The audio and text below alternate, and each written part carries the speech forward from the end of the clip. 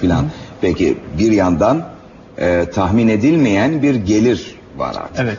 O tahmin edilmeyen gelirden sen nasıl faydalanıyorsun? Yani sana her istediğin alınıyor mu? Her türlü şımarıklığı yapabiliyor Hayır, musun? hayır, hayır değil. Öyle bir şey yok. Zaten ben e, o konunun nasıl idare edildiğini bilmiyorum 18 yaşına Peki gelen ama kadar. e, yani abinin ya da ailedeki insanların sana davranışı seni tutumluluğa yönlendirmek yönünde mi? 18 yaşından sonra daha çok. Çünkü ben o yaşa kadar yapılan e, yatırımların nasıl olacağını bilen biri değilim. Ayrıca imza yetkim yok Okan'cığım işin. Ya mesela bir Daha- şey istedin, bir oyuncak gibi bir şey, işte herhangi bir elektronik araç falan filan yani hediyip alınıyor mu hemen o sırada? Hayır. Çünkü benim o anda e, olduğum durum şu. Ben sürekli çalışıyorum.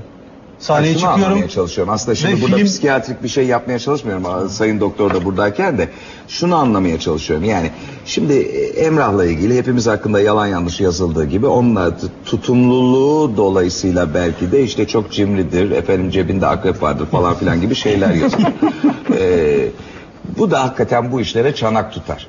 Şimdi bir e, jürilik yaptığı yarışmada e, sanatçı dostları e, belki de onu kızdırmak için işte sunucular falan filan bir spor merkezi var anladığım kadarıyla ben de oradan haberdar oluyorum. Ondan sonra diyorlar ki işte biz sana gelelim yazılalım bizi bedavaya oraya kaydet filan diyor.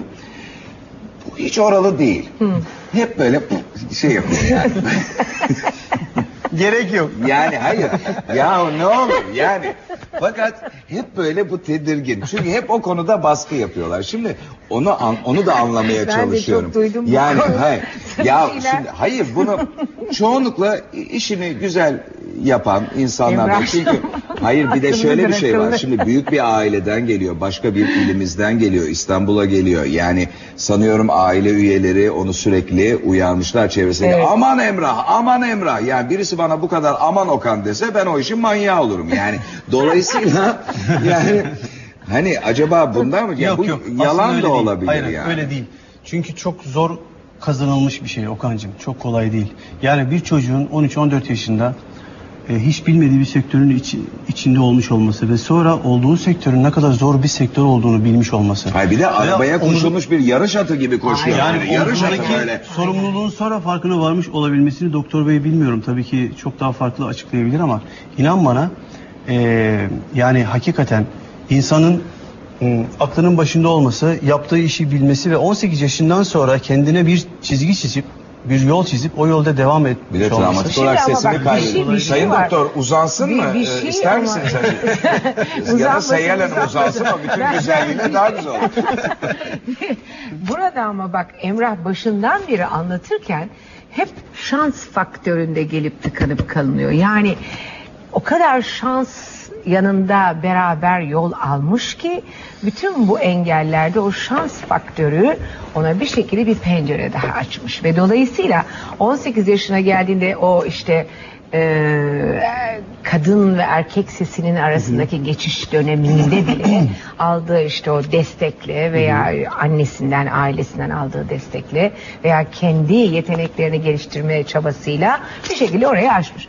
Ama bu bugün televizyonlarda gördüğümüz çocuklar için hiç iyi bir örnek değil. Tamam ona geleceğiz. Seyhan Hanım şimdi size. şimdi siz 65 yılında Şerif Yüzbaşıoğlu'ndan müzik dersleri almaya başladınız. Ama çok çocukken evet yani. Ah, Yani ah, şimdi ah, doğum e, hatta hatta editör arkadaşım da beni uyardı. Bu kaç yaşında oluyor? 13 yaşında falan oluyor dedi. 12.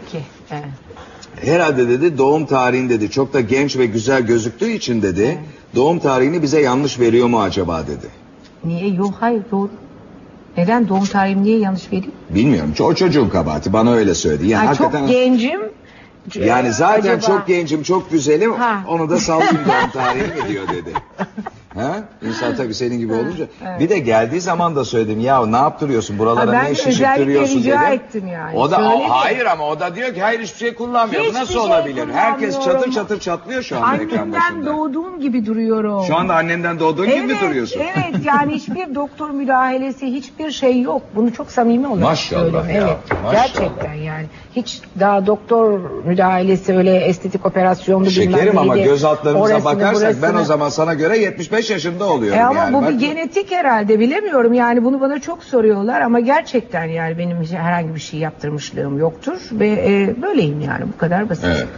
Ama işte bu hayatı sevmeyle de alakalı, kendine değer vermeyle de alakalı. Ben bir de çok e, ot falan yiyen biriyimdir. Çok böyle doğal yaşamayı sever. Bir de yıllardır Bodrum'da yaşadım biliyorsun.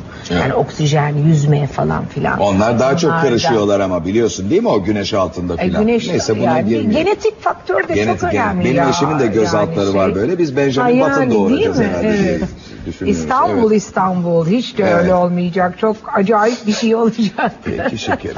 Evet şimdi izin verirseniz. eee, Sen şimdi bana bir şey soruyordun ne alaka nereye geldin yani estetiğe estetiğe geldin. Tamam işte iltifat edecektim. işte- iltifat et.